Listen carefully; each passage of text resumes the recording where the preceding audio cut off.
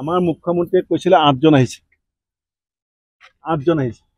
কালি বিজেপিৰ জ্যেষ্ঠ নেতাই ৱেষ্ট বেংগলত কৈছে ৱেষ্ট বেংগলৰ মুখ্যমন্ত্ৰীক কৈছে বিজেপি নেতাই যে এক কোটি বাংলাদেশী আদৰিবৰ কাৰণে আমি সাজু থাকিব লাগে।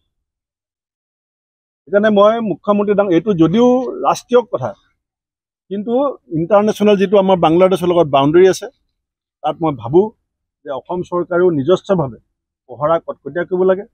আমাৰ নিজৰ বহুত সমস্যা আছে। আমি আৰু এখন বেলেগ দেশৰ সমস্যা ল'ব পৰা হৈ থকা নাই আৰু বেলেগ এটা পৰিস্থিতিৰ ফালে আমাৰ যাবলৈ মন নাই।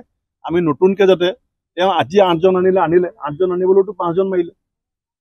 আঠজন মানুহ আনিবৰ কাৰণেতো চাম ষ্টাফোৰ্ড দীপাঞ্জল দাস দ্বিজেন্দ্ৰ পাংগিং ঈশ্বৰ নায়ক নুৰুল্লা আব্দুল আলিম পাঁচজনক মাৰি পেলাইহে আঠজন আনিছে। এতিয়া আৰু যাতে আহিব নোৱাৰে চাব লাগে। আমাৰ মুখ্যমন্ত্ৰীয়ে কৈছিলে আঠজন আহিছে। আঠজন আহিছে।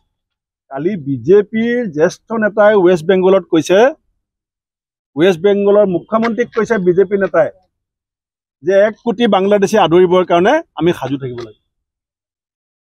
সেইকাৰণে মই মুখ্যমন্ত্ৰী ডাঙৰ এইটো যদিও ৰাষ্ট্ৰীয় কথা কিন্তু ইণ্টাৰনেশ্যনেল যিটো আমাৰ বাংলাদেশৰ লগত বাউণ্ডেৰী আছে তাত মই ভাবোঁ যে অসম চৰকাৰেও নিজস্বভাৱে পহৰা কটকটীয়া কৰিব লাগে।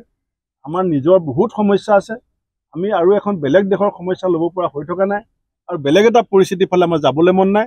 আমি নতুনকৈ যাতে তেওঁ আজি আঠজন আনিলে আনিলে আঠজন আনিবলৈতো পাঁচজন মাৰিলে। আঠজন মানুহ আনিবৰ কাৰণেতো চাম ষ্টাফোৰ্ড দীপাঞ্জল দাস দ্বিজেন্দ্ৰ পাংগিং ঈশ্বৰ নায়ক নুৰুল্লা আব্দুল আলিম পাঁচজনক মাৰি পেলাইহে আঠজন আনিছে। এতিয়া আৰু যাতে আহিব নোৱাৰে চাব লাগে।